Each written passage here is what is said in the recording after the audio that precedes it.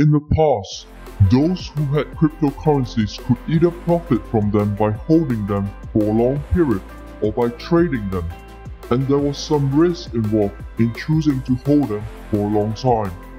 This was before the development of decentralized finance, but with the introduction of DeFi, liquidity mining has somehow altered the market rules. Decentralized finance has a fascinating and intriguing history, and the industry has given rise to several groundbreaking concepts like liquidity mining. What precisely is liquidity mining then? The process of lending cryptocurrency assets to a decentralized exchange in exchange for rewards is the basic idea, which is actually fairly simple to understand. In this way, both the decentralized exchange and the issuer of the token reward the user providing the liquidity, that is, the liquidity provider. The principle of liquidity mining is that it allows participants to grow their assets in a liquidity pool that is shared, therefore containing large liquidity and can only be accessed through the decentralized exchange. Because the decentralized exchange is a cryptocurrency exchange that allows peer-to-peer transactions, users do not need a bank-like intermediary to trade and are completely independent through the enforcement of smart contracts.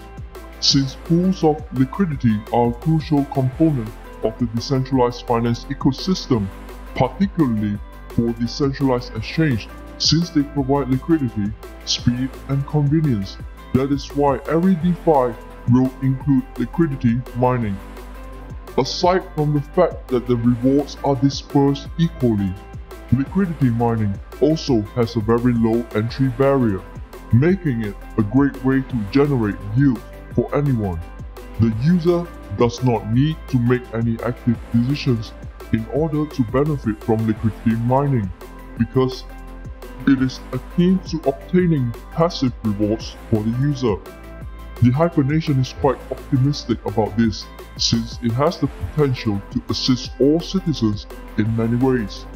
Liquidity mining is part of the feature of the HyperNation's ecosystem, also known as Hyper Yield Aggregator. Users could receive more HyperWallet token HWT by simply staking their LP tokens using the HyperYield Aggregator. Furthermore, HWT holders have voting rights, which means that holding HWT has value in addition to allowing you to vote on crucial community decisions. Therefore, liquidity mining has numerous advantages for citizens at all levels.